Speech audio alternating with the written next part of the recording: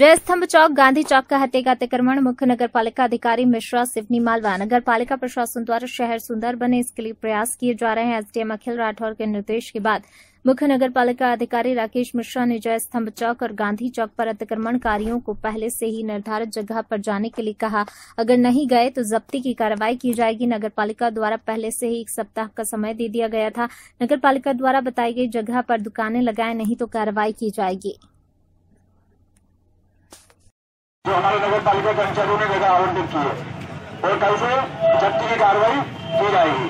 धन्यवाद। साफ़, स्वच्छ, सुंदर और अतिक्रमण मुक्त बनाने की मुहिम शासन निर्देशों के अनुरूप की जा रही है। उसी में हमारे प्रशासक महोदय और एसडीएम महोदय श्री अखिल राठौर द्वारा निर्देश दिए गए थे कि समस्त व्यापारियों को बुलाकर एक बैठक की जाए और उनके सुझाव और उनकी समस्याओं को दृष्टिगत रखते हुए यथोचित स्थान पर जो नगर पालिका के क्षेत्र में अंतर्गत है, वहाँ पर एक व्यवस्थित बाज़ार लगाया जाए ताकि अतिक्रमण ना हो और यातायात में बाधा उत्पन्न ना हो।